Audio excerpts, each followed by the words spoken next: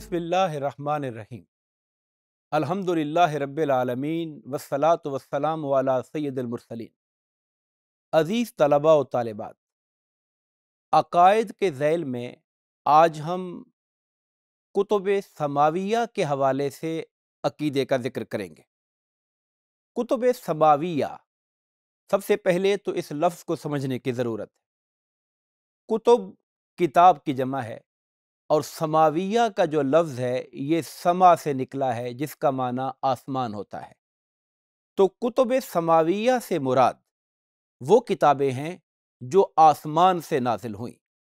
यानी ये वो किताबें हैं जो इंसानियत की फलाह के लिए और इंसानों की हिदायत और रहनुमाई के लिए इंसानों के खालिक ने अम्बिया कराम पर उतारी, ताकि मखलूक खुदा को अपने खालिक की हिदायत व अहकाम की रोशनी में ज़िंदगी गुजारने के लिए एक लाए अमल दिया जाए। मशहूर कुतुब समाविया चार हैं। उनमें सबसे पहली ज़बूर, जो हज़रत दाऊद सलाम पर उतरी। तौरात, जो हज़रत मूसा सलाम पर उतरी। इंजील, जो हज़रत ईसा सलाम पर नाजिल हुई। और कुरान मजीद, जो नबी आखिर ज़मा हज़रत मोहम्मद मुस्तफ़ा सल्लल्लाहु अलैहि वसल्लम पर नाजिल हुई। इन मशहूर किताबों के अलावा भी कुछ और सहाइफ हैं जिनका इजमाली ज़िक्र, जिसकी तरफ़ इशारा कुरान मजीद ने सूर आला की आयत नंबर उन्नीस में किया। अल्लाह पाक ने इरशाद फरमाया इन हाजा लफ़ी सुहफ़िल ऊला, सुहफ़ इब्राहीम व मूसा। यानी ये जो हमने पैगाम दिया है, ये जो किताब हमने पहले उतारी, उनके अंदर भी पैगाम दिया था? यानी ये कलाम या ये पैगाम सिर्फ़ कुरान में नहीं है, इससे पहली किताबों में भी था।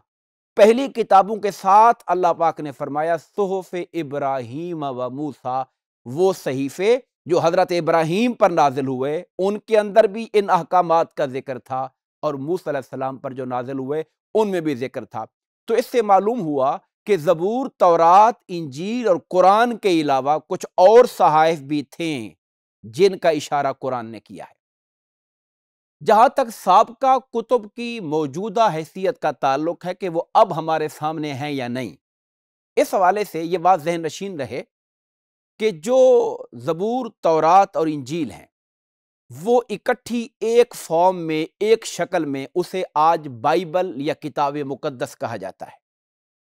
उस किताब मुकद्दस और बाइबल के दो हिस्से किए गए। एक को अहदनामा कदीम कहा गया।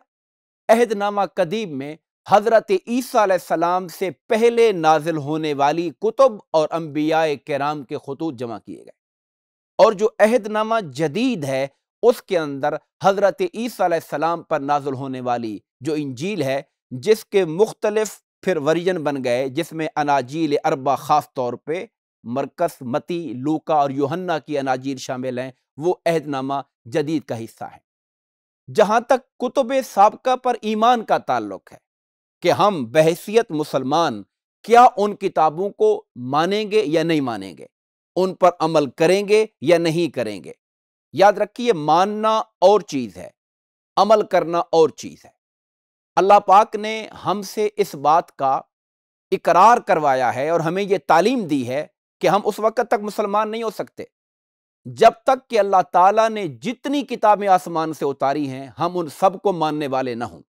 अल्लाह ने जितने पैगंबर उतारे, हम उन सबको मानते। हैं अल्लाह ने जितनी किताबें उतारी, हम उन सबको मानते और ईमान रखते। हैं जहाँ तक अमल का ताल्लुक है तो अमल के हवाले से यह बात याद रहे कि कुरान मजीद चूँकि कुतुब समाविया में सबसे आखिरी किताब है।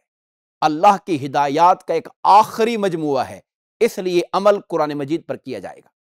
और जो पिछली वाली किताबें हैं, चूँकि वो उनकी हिफाजत का जिम्मा अल्लाह पाक ने अपने जिम्मे नहीं लिया, वो उस उम्मत के जिम्मे लगाया गया और बदकिस्मती से उसके अंदर इंसानी अमल दखल की वजह से तहरीफात हो गई, कुछ तब्दीलियाँ हो गई, कुछ चीज़ें खारिज हो गई, कुछ चीज़ें दाखिल हो गई। इसलिए हम उन कुतुब की, उन तमाम तर तालीमत को मानेंगे जो कुरान सुन्नत के मुताबिक होंगी, जो कुरान सुन्नत से हट कर होंगी, उन्हें हम तस्लीम नहीं करेंगे। कुरान मजीद, जो अल्लाह ताला की आखिरी किताब है, इस कुरान मजीद को अल्लाह ताला ने बहुत सी खसूसियात बख्शी हैं। जिनमें से एक खसूसियत यह है कि यह वो किताब है जो महफूज है। इसकी हिफाजत का जिम्मा खुद खाले के कायनात ने लिया। इन्ना नहनो नजल न जिक्रा व इन्ना लहू लहाफिजून। इस ज़िक्र कुरान को हमने ही उतारा है और हम ही इसकी हिफाजत करने वाले हैं। दूसरी बात यह है कि यह कुरान ऐसी ज़ुबान में है जो मतरूक नहीं हो गई, जो वक्त के साथ साथ खत्म नहीं हो गई बल्कि आज भी दुनिया के बीसियों ममालिक के अंदर ये ये ज़ुबान बोली जाती है, ये किताब उस ज़ुबान में है जो ज़िंदा ज़ुबान है और जिसे दुनिया के अंदर बोलने वाले मौजूद है। तीसरी खसूसियत कुरान मजीद की यह है कि यह अपनी तालीमत के एतबार से एक आलमगीर किताब है। फरमा इन ज़िक्र आलमीन। चौथी खसूसियत अल्लाह पाक ने इस कलाम की यह फरमाई कि इंसानी ज़िंदगी की हिदायत के लिए तमाम तर जो बुनियादी उमूर है, वो इस किताब के अंदर ज़िक्र कर दिए गए हैं। पांचवी खसूसियत ये बख्शी खाले के कायनात ने इस कुरान को कि ये वो किताब है जिसे मोजाना शान हासिल है। यानी इसकी मिसल लाने पर, इस कलाम जैसा कलाम बनाने पर कायनात में कोई कादिर नहीं। अल्लाह पाक ने वाज चैलेंज दिया। हुजूर के ज़माने के अरबों को भी चैलेंज था आज की इंसानियत को भी चैलेंज है और क्यामत तक आने वाले लोगों को चैलेंज है कि यह खाले के कायनात का कलाम है। तुम इसकी मिसल नहीं बना सकते हो। अगर समझते हो कि यह अल्लाह का कलाम नहीं है तो फिर इस कुरान की किसी सूरत जैसी कोई एक सूरत बना के ले आओ। मगर इस चैलेंज पर आज तक पूरी इंसानियत में कोई इसका जवाब नहीं दे पाया है और इस बात का सबूत है कि यह अल्लाह ताला का कलाम और एक खसूसियत कुरान को यह भी हासिल है कि ये वो किताब है जो काबिल हिफ्ज है। दुनिया में जितनी भी किताबें उतरी हैं, उनको मुकम्मल तौर पे एक एक लफ्ज़ और एक एक हर्फ के साथ याद नहीं किया जा सका, मगर कुरान मजीद वो इल्हामी किताब है जिसके एक दो नहीं, हज़ारों नहीं, लाखों की तादाद में रूए ज़मीन के ऊपर हुफाज मौजूद हैं।